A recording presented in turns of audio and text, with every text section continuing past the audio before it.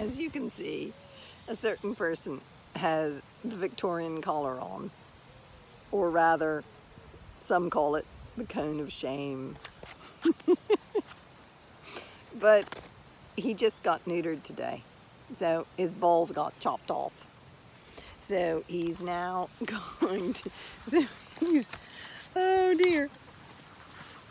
It makes no never mind what happened to him. His sister is still determined to play with him. I was just, the collar's already come off once, so I've had to tie it on. And I'm hoping it will stay tied on.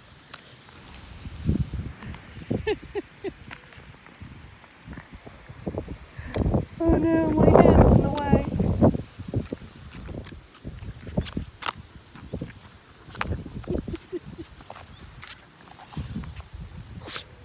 Bless you.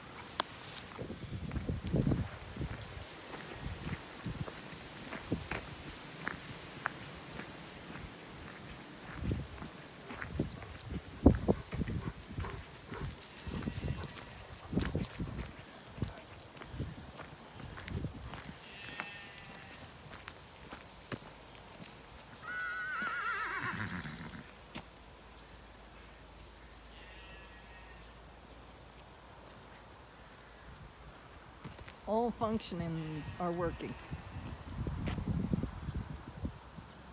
Isn't that right? clever boy. You're clever boy.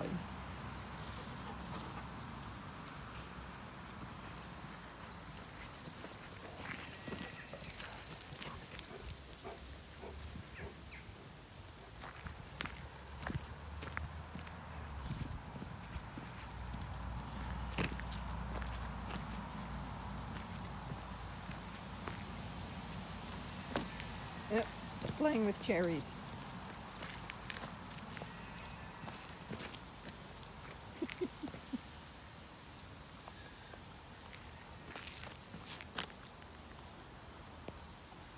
you, you know, this might not be the wisest decision.